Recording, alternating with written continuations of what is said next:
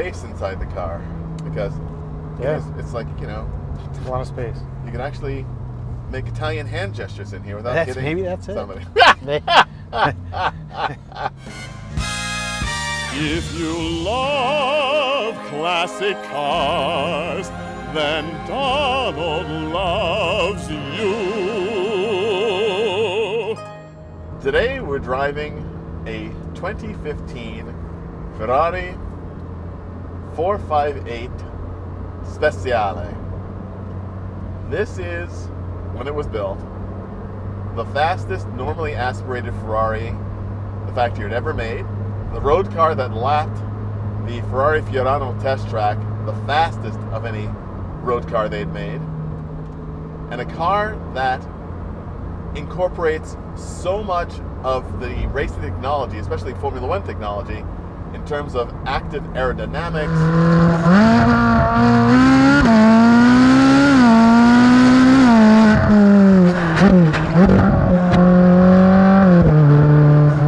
And very sophisticated chassis control, all to bring an essential track experience to the road.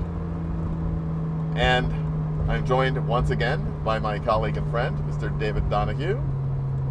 And uh, as a man who knows a bit about what it takes to have a successful race car,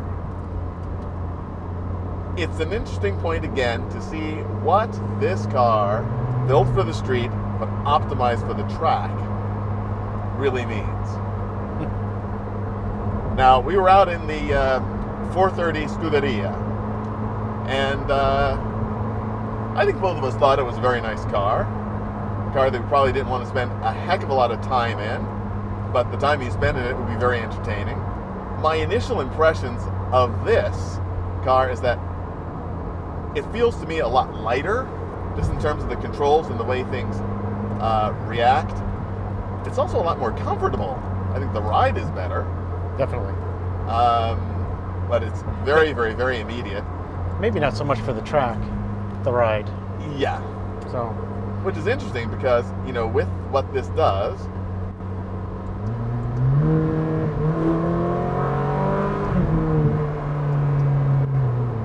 it's certainly to me and you will really i won't say thrash it because we are not on a track.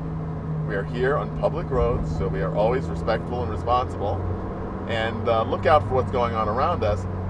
But it's also a very interesting thing to always see what kind of, of actual enjoyment can you get out of a car like this when you're driving it on sort of normal roads? Uh, my test of, of cars like this, and, and especially the cars that engage in the horsepower wars, you know, get to a thousand horsepower, 1200 horsepower, and it's, you know, what do you do with that? you know, this is a car with less than 600 horsepower, but I think that cars like this are to me the ultimate because they do everything that you want a car to do in a way that is actually usable and entertaining. yeah, I think too much is put into horsepower numbers to to make sales. I think that uh, some of the lower power cars you can have a whole lot more fun in, just Well- because you can be flat out and not have a proverbial gun to your head. Exactly, and uh, me in old cars, and especially uh, the only racing I've ever done is in vintage racing, and my vintage racing is all done in small bore cars, and they're cars that uh, some of which uh, I have had uh, great drivers and instructors tell me, "Well, Donald, you know, it, it's an interesting thing that that you choose this car."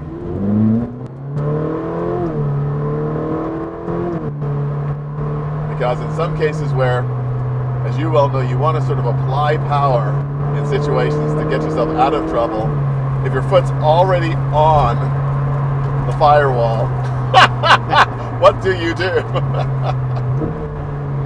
You hang on to that thing. exactly. it makes you feel brave. Yeah. Flat on the gas all the time.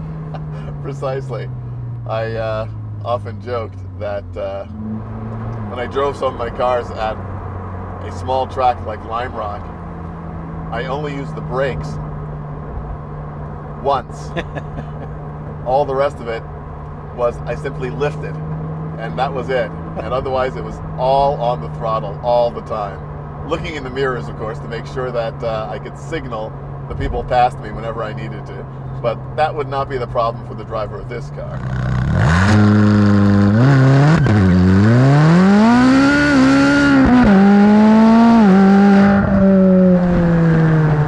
Yeah, the ride quality is definitely noticeable compared to the Absolutely. Uh, 458. Uh, sorry, 4, 430.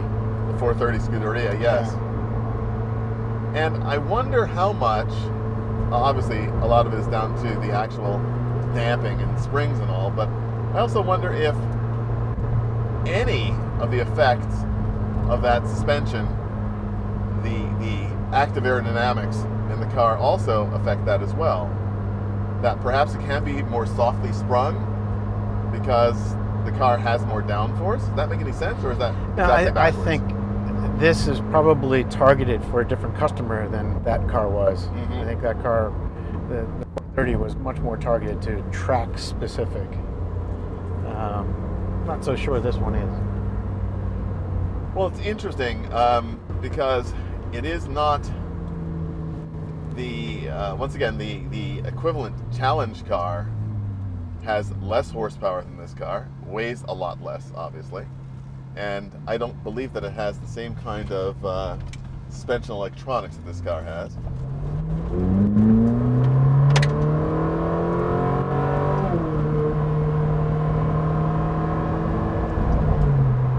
Different sound for sure. Yeah. And it's really interesting too because I do like the uh, I do like the sound of this and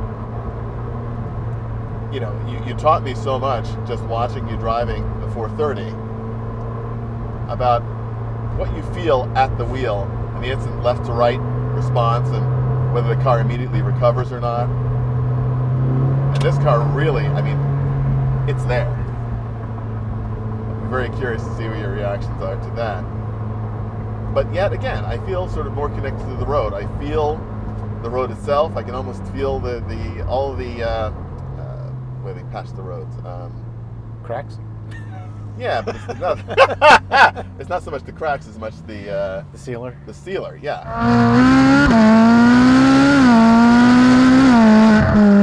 yeah. There's definitely no need to uh, lift for the shifts Yeah, they do seem more immediate, Yeah. especially at the lower lower acceleration levels. So is this dual clutch? Yeah, it's got to That's be. the difference. Yeah.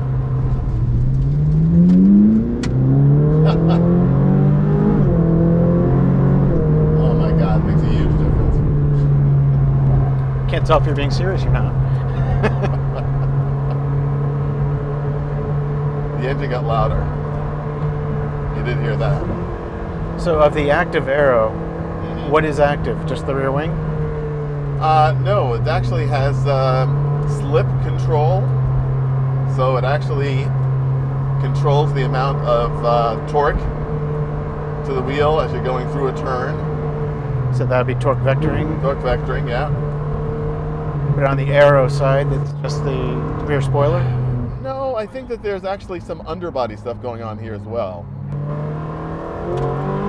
you.